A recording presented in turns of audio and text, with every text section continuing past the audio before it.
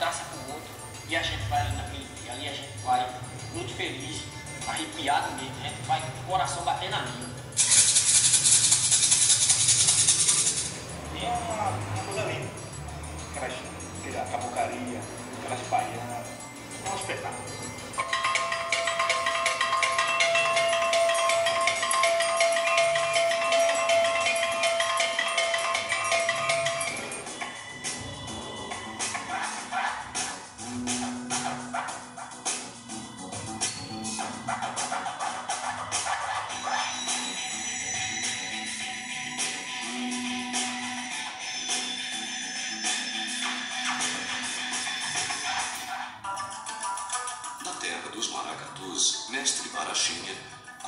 Como poucos as tradições de um dos ritmos mais populares e importantes do Nordeste.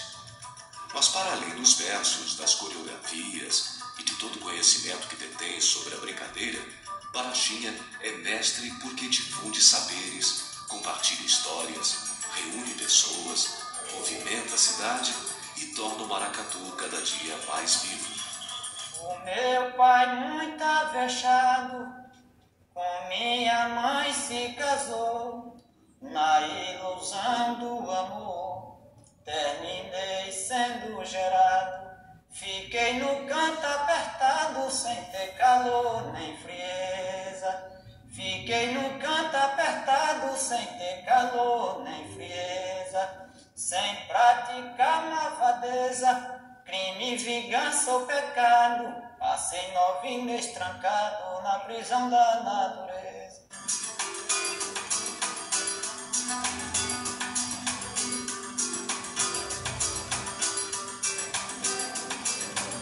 Eu vim do engenho, eu nasci na zona rural, vim morar aqui em Nazaré, tinha nove anos de idade. Então quando eu cheguei aqui, o que eu encontrei foi maracatu. Então, para mim, o mais bacana da minha infância foi, foi Maracatu, foi conhecer Maracatu. Mas desde pequeno, que eu vejo por falar que o maracatu é de origem africana.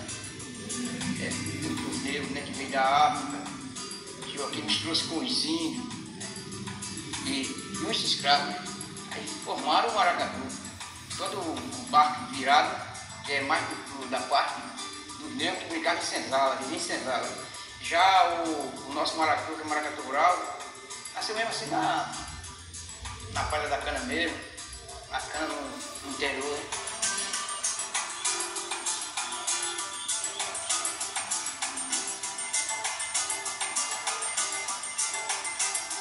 Eu comecei a brincar maracatu, pequenininho, caboclo de lança, tem uma tradição no domingo de carnaval pela manhã.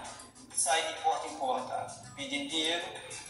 Então naquele tempo o chapéu de caboclo era de solafano, tudo que é pronto, depois foi para solafano. Então a gente, os caboclos sempre botavam alguém para acompanhar ele, no, no caso do meu pai era eu mesmo, que quando ele cansava, não aguentava mais o calor, ele botava o chapéu, Barachinha é um irmão. Eu tenho Barachinha como um irmão. Foi um dos camaradas que mudou a minha visão dentro do Maracatu. A parte que eu mais tive vontade de brincar maracatu mesmo, foi vendo o chamado esquento de terno. De terno é.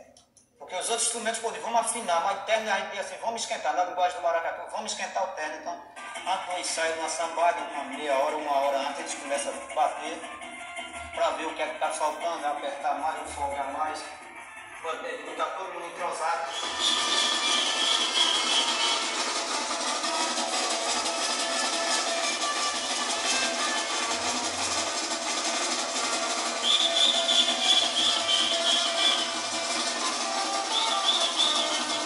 O maracatu mudou muito. O maracatu é uma coisa, que o começo do maracatu é uma história que foi tirada, criada só de homens, entendeu? O maracatu veio mudar depois que começaram colocar mulher. Mas eu, eu creio que no passado mesmo era só brincadeira de um mesmo, porque até a baiana era homem. E Antigamente o, o corpo comia mesmo. Até a baiana era homem, não tinha escrito mulher brincando de, de maracatu não. O pessoal já fala que já no começo da década de 70, porque o Campina Brasileira e João Leandro colocou mulher para brincar no Maracatu do Baiano. No passado, um maracatu, quando encontrava o outro, tinha por obrigação de cruzar a bandeira, quer dizer, que era cruzar o estandarte, dois estandartes.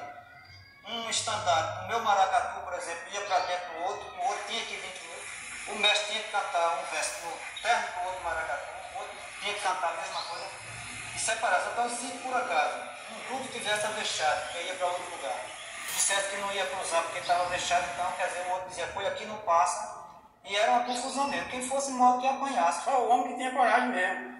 Pessoa que, saía de casa, não fazia voltar, como não. Entendeu?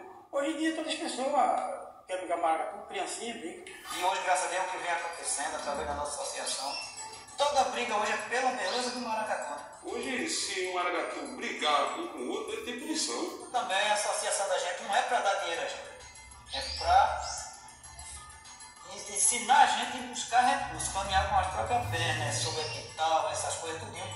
Então quer dizer que, eu digo a você com toda certeza, foi quem acabou com a briga de Maracatu. E quem fortaleceu o Maracatu foi a Associação de Patrocínio.